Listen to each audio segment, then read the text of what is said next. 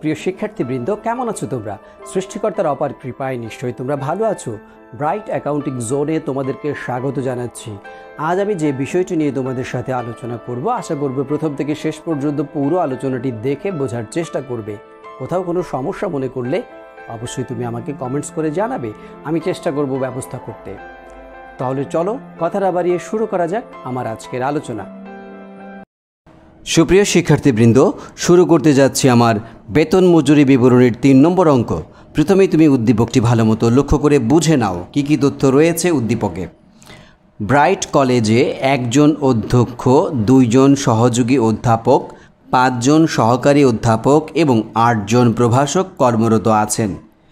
দু হাজার বিশ সালের জুন মাসের নিম্নোক্ত তথ্যাবলী অবলম্বনে শিক্ষকদের বেতন বিবরণী প্রস্তুত করো। মূল বেতন দেয়া আছে এখানে অধ্যক্ষের চল্লিশ হাজার টাকা, সহযোগী অধ্যাপক একজনের ত্রিশ হাজার পাঁচশো টাকা, সহকারী অধ্যাপক একজনের পঁচিশ হাজার পাঁচশো টাকা, প্রভাষক একজনের আঠারো হাজার পাঁচশো টাকা। এইগুলো প্রত্যেকটি একজনের তথ্য দেওয়া। এখানে আমার ব্রাইট কলেজে অধ্যক্ষ একজন আছে, একজন অধ্যক্ষের চল্লিশ হাজার টাকা। দুইজন সহযোগী অধ্যাপক আছে, একজনের যদি ত্রিশ হাজার পাঁচশো টাকা হয়, দুজনের হব তিরিশ হাজার পাঁচশোকে দুই দিয়ে গুণ। এরপরে, সহকারী অধ্যাপক যদি হয় বেতন পঁচিশ হাজার পাঁচশো টাকা একজনের, তাহলে পাঁচজনেরটা গুণ করে আমরা লিখব। ঠিক তদ্রূপ প্রভাষক একজনের বেতন হচ্ছে আঠারো হাজার পাঁচশো, এরূপ আটজন প্রভাষক রয়েছে, আট দিয়ে আমাকে গুণ করে মূল বেতন বের করতে হবে। এরপরেও অন্যান্য কিছু সুযোগ সুবিধা রয়েছে, যেমন অধ্যক্ষসহ উপযুক্ত শিক্ষকগণ মূল বেতন ছাড়া নিম্নোক্ত সুবিধাদি ভোগ করেন। শুধু অধ্যাপক, অধ্যক্ষ নয়, আরও যারা রয়েছেন, তারাও কিছু সুযোগ সুবিধা এই কলেজ থেকে সুবিধা গ্রহণ করে থাকে। কী কী সুবিধা নেয়? বাড়ি ভাড়া ভাতা মূল বেতনের ফিফটি পার্সেন্ট নেয়। মহার্ঘ ভাতা মূল বেতনের ফিফটি পার্সেন্ট চিকিৎসা ভাতা মাসে পাঁচশো টাকা। নগর ভাতা অধ্যক্ষ মাসিক তিন হাজার টাকা। এই নগর ভাতাটা শুধুমাত্র অধ্যক্ষ পেয়ে থাকেন, অন্য কোনো শিক্ষক পেয়ে থাকেন না। অনুমোদিত ভবিষ্যৎ তহবিলের নিয়োগকর্তা মূল বেতনের টেন পার্সেন্ট প্রদান করেছেন। এখানে একটি বিষয় লক্ষ্য করো, যদি অনুমোদিত ভবিষ্যৎ তহবিলে এই নিয়োগকর্তার দানটি এখানে না থাকতো, তাহলে শুধু কর্তনে যা ছিল আমরা তাই লিখতাম। কিন্তু যদি অনুমোদিত প্রভিডেন্ট ফান্ডে বা ভবিষ্যৎ তহবিলের নিয়োগকর্তা কর্মচারী বা শ্রমিকদেরকে কিছুটা দিয়ে থাকেন, যে পরিমাণ অর্থ দিয়ে থাকেন, ঠিক সমপরিমাণ অর্থ একজন শ্রমিক বা কর্মচারী বা শিক্ষককেও তার ফান্ডে জমা রাখতে হয়। তখন উপার্জনের বেলায় যে পরিমাণ অর্থ আমার উপার্জন হবে, কর্তনের বেলায় এ মুহূর্তে আমি কর্তন করাবো দ্বিগুণ। কারণ এ পরিমাণ অর্থ আমিও দিব, মালিকের টাকাটা আমি এখন ভোগ না করে আমি ওই মালিকের টাকাটাও আমি ওই ফান্ডে জমা রাখব। তাহলে জমার পরিমাণ হবে দ্বিগুণ। যখন আমি চাকরি থেকে অবসর নিব, তখন আমার এই টাকাটা প্রভিডেন্ট ফান্ড হিসেবে নিয়োগকর্তা আমাকে দিয়ে থাকবেন। চাকরির মেয়াদ যখন শেষ হয়ে যাবে। এখানে বলেছে, দেখো, এখানে ও নাম্বারে ছিল, নিয়োগ করতে দশ পার্সেন্ট দান করেন। ভবিষ্যৎ তহবিলে কর্তনে বলেছে, মূল বেতনের টেন পার্সেন্ট নিয়োগকর্তা এবং দশ পার্সেন্ট শিক্ষকগণের সহ মোট বিশ পার্সেন্ট হবে। এই যে কর্তনে দ্বিগুণ হয়ে গেল।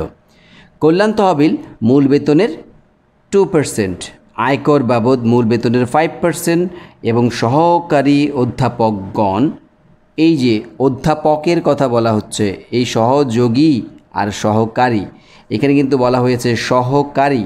তার মানে এই সহকারী অধ্যাপকগণ বিনা বেতনে দুই দিনের ছুটি ভোগ করেছেন।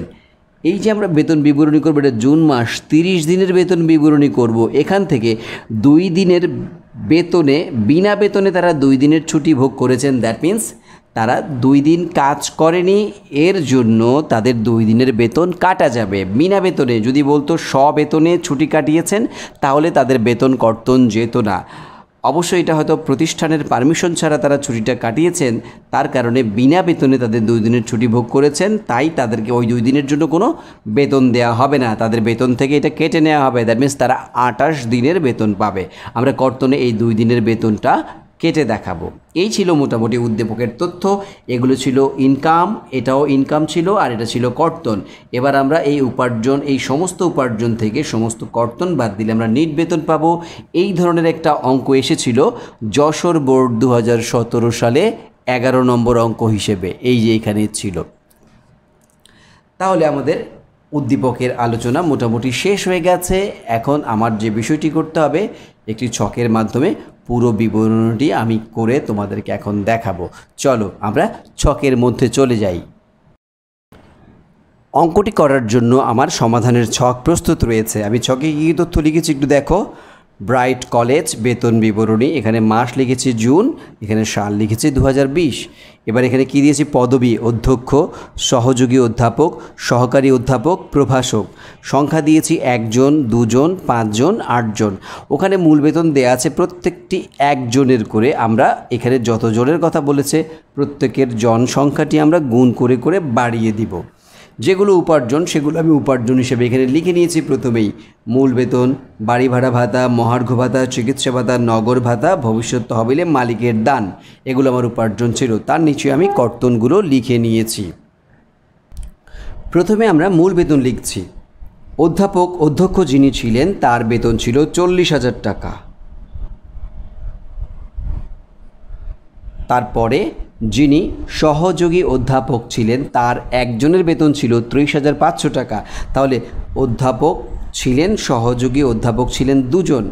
তাহলে পঁয়ত্রিশ হাজার পাঁচশোকে দুই দিয়ে গুণ করলে আমার হবে একষট্টি হাজার টাকা। এরপরে সহকারী অধ্যাপক ছিলেন পাঁচজন। প্রত্যেকের বেতন ছিল পঁচিশ হাজার পাঁচশো টাকা। তাহলে পঁচিশ হাজার পাঁচশোকে পাঁচ দিয়ে গুণ করলে আমার হবে এক লক্ষ সাতাশ হাজার পাঁচশো টাকা। এক লক্ষ সাতাশ হাজার পাঁচশো টাকা। আমি গুণ করে করে লিখে যাচ্ছি। প্রভাষকের বেতন ছিল একজনের আঠারো হাজার পাঁচশো টাকা। তাহলে আমার আটজনের কত হবে? এক লক্ষ আটচল্লিশ হাজার টাকা।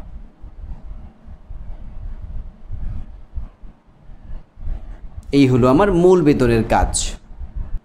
এরপর লিখব আমি বাড়ি ভাড়া ভাতা। বাড়ি ভাড়া ভাতায় বলেছে মূল বেতনের পঞ্চাশ পার্সেন্ট তাহলে মূল বেতন যদি হয় তার চল্লিশ হাজার, তার পঞ্চাশ পার্সেন্ট হবে বিশ হাজার। এটা যদি হয় একষট্টি হাজার, তার অর্ধেক হবে ত্রিশ হাজার পাঁচশো। এটা যদি হয় এক লক্ষ সাতাশ হাজার পাঁচশো, তার অর্ধেক হচ্ছে তেষট্টি হাজার সাতশো পঞ্চাশ। তারপরে প্রভাষকের বেতন যদি হয় এক লক্ষ আটচল্লিশ, তাহলে এটা হবে চুয়াত্তর হাজার। এই ছিল অবস্থা। এরপরে আমি যাব পরবর্তী কাজে। সেটা হচ্ছে মহার্ঘ ভাতা মহার্ঘ ভাতা বলেছে মূল বেতনের ফিফটি পারসেন্ট তাহলে এটা যদি ফিফটি পারসেন্ট হয়, এখানে যা ছিল ঠিক তাই হবে। হুবহু আমরা এটা কপি করে নিব। ফিফটি পারসেন্ট যেহেতু মহার্ঘ ভাতাতেও বলেছে, আমরা এটা কপি করে নিব। বিশ হাজার, ত্রিশ হাজার পাঁচশো, তেষট্টি হাজার সাতশো পঞ্চাশ, আর এটা হচ্ছে চুয়াত্তর হাজার টাকা। এরপরে আমি যাব পরবর্তী আইটেম চিকিৎসা ভাতা। চিকিৎসা ভাতায় বলেছে মাসে পাঁচশো টাকা। তাহলে চিকিৎসা ভাতা যদি মাসে পাঁচশো টাকা হয়, এটা একজন পাবে পাঁচশো টাকা। এখানে দুজন, তাহলে পাঁচশো গুণ দুই এক হাজার টাকা পাবে। এখানে পাঁচজন, এখানে পাবে পঁচিশশো টাকা। এখানে আটজন এখানে পাবে আট গুণন পাঁচশো চার হাজার টাকা। এভাবে আমাকে লিখতে হবে। চিকিৎসা ভাতা। নগর ভাতায় বলেছে। নগর ভাতার লাইনটি একটু দেখে নাও। নগর ভাতায় কি বলেছে? এই যে দেখো। নগর ভাতায় বলেছে এই যে, অধ্যক্ষ মাসে তিন হাজার টাকা পাবেন। শুধুমাত্র অধ্যক্ষ পাবেন, এটা অন্য কেউ পাবেন না। তাহলে আমরা অধ্যক্ষের কলামে এটি লিখে দেখাবো। অধ্যক্ষ নগর ভাতা পাবেন তিন হাজার টাকা মাসে। তাহলে আমরা অধ্যক্ষের ঘরে তিন হাজার টাকা লিখব। আর কেউ এই নগর ভাতাটা পাবে না, তার ড্যাশ দিয়ে দিই আমি। এরপরে যাবে ভবিষ্যৎ তহবিলে মালিকের দান। ভবিষ্যৎ তহবিলে মালিক দান করেছে মূল বেতনের টেন পার্সেন্ট তার মানে চল্লিশ হাজার টাকার টেন পার্সেন্ট হচ্ছে চার হাজার। একষট্টি হাজার টাকার চার দশ পার্সেন্ট হয় ছয় হাজার একশো টাকা। এক লাখ সাতাশ হাজার পাঁচশো টাকায় হয় দশ পার্সেন্ট বারো হাজার সাতশো পঞ্চাশ টাকা। আর এক লক্ষ আটচল্লিশ হাজার টাকায় টেন পার্সেন্ট হয় চোদ্দ হাজার আটশো টাকা। এই হলো আমার মোট উপার্জনের কাজ। এখন আমি যে কাজটি করব, প্রত্যেকটি কলাম ওয়াইজ যোগফল এখানে এখানে এখানে বসিয়ে আমি দেখব মোট উপার্জন কত হয়। এই হচ্ছে আমার কলাম ওয়াইজ প্রত্যেকের মোট উপার্জন। সাতাশি হাজার পাঁচশো টাকা অধ্যক্ষের, এক লাখ উনত্রিশ হাজার একশো টাকা অধ্যাপক সহকারী, সহযোগী অধ্যাপক, আর সহকারী অধ্যাপক হচ্ছে পাঁচজনের দু লাখ সত্তর হাজার দুশো পঞ্চাশ।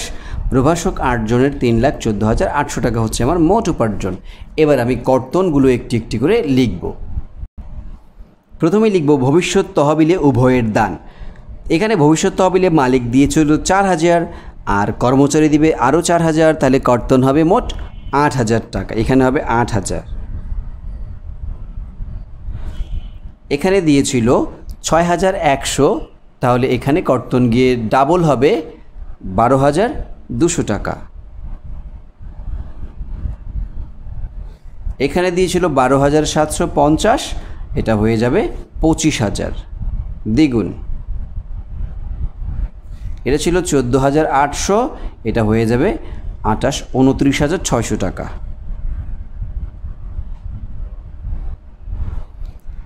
এরপরে কল্যাণ তহবিলের টাকা লিখব। মূল বেতনের টু পার্সেন্ট মূল বেতনের টু পার্সেন্ট এটা হবে আটশো টাকা।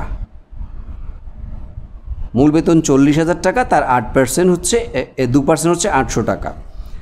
তারপরে কল্যাণ তহবিলে সহযোগী অধ্যাপক যারা ছিলেন, তাদের বেতন ছিল একষট্টি হাজার, তার দুই পার্সেন্ট হচ্ছে বারোশো বিশ টাকা। বারোশো বিশ টাকা। আর এখানে মূল বেতন ছিল এক লক্ষ সাতাশ হাজার পাঁচশো, এর টু পার্সেন্ট হবে পঁচিশশো পঞ্চাশ টাকা।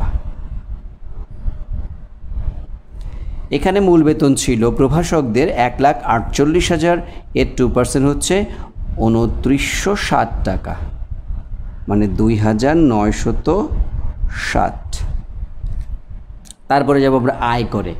আয়কর বলেছে মূল বেতনের পাঁচ পার্সেন্ট তাহলে মূল বেতন চল্লিশ হাজার টাকা, তার পাঁচ পার্সেন্ট হচ্ছে আমার দুই হাজার টাকা। এখানে মূল বেতন ছিল একষট্টি হাজার, তার পাঁচ পার্সেন্ট তিন হাজার পঞ্চাশ টাকা। এখানে মূল বেতন ছিল পাঁচজনের এক লাখ সাতাশ হাজার পাঁচশো, এর পাঁচ পার্সেন্ট হবে ছয় হাজার তিনশো পঁচাত্তর। ছয় হাজার তিনশো পঁচাত্তর।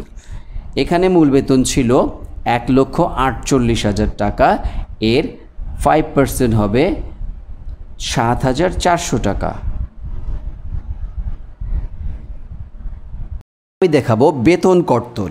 এখানে প্রশ্নটিতে বলেছিল, সহকারী অধ্যাপকগণ বিনা বেতনে দুই দিনের ছুটি ভোগ করেছেন। এ কথার মানে হচ্ছে, তারা ওই জুন মাস ত্রিশ দিনে ছিল, তারা আঠাশ দিন কাজ করেছে, প্রতিষ্ঠান থেকে ছুটি না নিয়ে তারা দুই দিনের ছুটি ভোগ করেছেন এই জন্য তাদের দুই দিনের বেতন কাটা যাবে। তাহলে তারা আমরা এই বেতনটা কাটবো থেকে তাদের যে এই সহকারী অধ্যাপকের মোট বেতন ছিল, মোট উপার্জন ছিল দুই লাখ সত্তর হাজার দুশো পঞ্চাশ টাকা। এখান থেকেই আমরা দুই দিনের বেতনগুলো আমরা কেটে নিব। তাহলে এটা বের করতে গেলে প্রথমে আমার এই টাকাটা তিরিশ দিন, তিরিশ দিয়ে ভাগ করব আর দুই দিন দিয়ে গুণ করলে দুই দিনের কর্তনের টাকাটা বের হয়ে যাবে। এটা আমি এভাবে দেখাবো এখানে। ব্র্যাকেটে কাজটা দেখিয়ে দিতে পারব। দু লক্ষ সত্তর হাজার দুশো পঞ্চাশ। দু লক্ষ সত্তর হাজার দুইশত পঞ্চাশ। ভাগ তিরিশ। এভাবে করলে কী হবে? আমার একদিনের টাকা বেরোবে। তিরিশ দিনে সে ইনকাম করেছে দুই লক্ষ সত্তর হাজার দুশো পঞ্চাশ টাকা। তাহলে তিরিশ দিনে ইনকাম করলে কত হবে? ভাগ করলে একদিনের টাকা বের হয়ে যাবে। এবার আমার দরকার দুই দিনের কর্তন। এটাকে আমি দুই দিয়ে গুণ করব। তাহলে আমার দুই দিনের কর্তন বের হয়ে যাবে। এটা এভাবে করলে হয় আঠারো হাজার সতেরো টাকা হবে। তাহলে এটা আমরা তাদের কলামে লিখে দিব। আঠারো হাজার সতেরো টাকা। কিন্তু এদের কিন্তু কর্তন হবে না। এরা কিন্তু ছুটি কাটায়নি, এমন কোনো তথ্য আমরা পাইনি। এখন যে কাজটি করতে হবে, এই কর্তনগুলো এখানে যোগফল হিসেবে প্রত্যেকটা কলামের যোগফল আমরা কর্তনগুলো এখানে বসিয়ে দেখব কত টাকা কর্তন হয়। এই হলো আমার মোট কর্তনের যোগফল, দশ হাজার আটশো টাকা, ষোলো হাজার চারশো সত্তর টাকা বায়ান্ন হাজার চারশো বিয়াল্লিশ টাকা, উনচল্লিশ হাজার নয়শত ষাট টাকা। এখন যে কাজটি করতে হবে, নিট বেতন আমাকে বের করতে হবে। নিট বেতন বের করতে গেলে মোট উপার্জন থেকে এই মোট কর্তন বাদ দিব। এই মোট উপার্জন থেকে এই মোট কর্তন বাদ দিব। এভাবেই এই মোট উপার্জন থেকে এই মোট কর্তন বাদ দিব। এই মোট উপার্জন থেকে এই কর্তন বাদ দিয়ে যে বাদ দেওয়ার রেজাল্টটা বেরোবে, সেটা লিখব আমরা এখানে। এখানে আমরা নিট বেতন হিসেবে এই কাজগুলো দেখাবো। এই হলো আমার নিট বেতন। নিট বেতন অধ্যক্ষের হয়েছে ছিয়াত্তর হাজার সাতশো টাকা, সহযোগী অধ্যাপকের হয়েছে এক লাখ বারো হাজার ছশো ত্রিশ টাকা, সহকারী অধ্যাপকের হয়েছে দু লাখ সতেরো হাজার আটশো আট টাকা এবং প্রভাষকদের বেতনের পরিমাণ হয়েছে দু লাখ চুয়াত্তর হাজার আটশো চল্লিশ টাকা। এই হচ্ছে আমার টোটাল বেতন বিবরণী। তবে পরীক্ষায় তোমার এত বড় অঙ্ক একসাথে আসবে না। উপার্জনগুলো ক নম্বর প্রশ্নে আসবে, কর্তনগুলো খ নম্বরে আসবে, গ নম্বরে আসবে, নিট বেতনের পরিমাণ নির্ণয় করো, অথবা অন্য কোনোভাবে এই অঙ্কটা তিন ভাগে ভাগ হয়ে টোটাল অঙ্কটা তোমার সৃজনশীল আকারে পরীক্ষায় আসবে। আমি এই অঙ্কটি সৃজনশীল আকারে তোমাকে দেখালাম না, বোঝানোর স্বার্থে পুরো অঙ্কটি একসাথে দেখালাম। তবে তোমার পরীক্ষায় যখন এই অঙ্কটি আসবে, তখন কিন্তু সৃজনশীল আকারেই আসবে এবং এই বিভিন্ন কাজগুলো ক, খ, গ এই প্রশ্নে ভাগ হয়ে যাবে। শেষ হয়ে গেল আমার আজকের বেতন মজুরির তিন নম্বর অঙ্কের সমাধান। শিক্ষার্থীবৃন্দ, আশা করছি পুরো ক্লাসটি মনোযোগ দিয়ে দেখে বোঝার চেষ্টা করেছ। কোথাও কোনো সমস্যা মনে করলে তুমি আমাকে কমেন্টস করে জানাতে পারবে। নতুন কোনো টপিক নিয়ে আবারও তোমাদের সামনে হাজির হব। সেই পর্যন্ত তোমরা সবাই ভালো থাকবে, সুস্থ থাকবে। তোমাদের জন্য রইল আমার আন্তরিক শুভকামনা।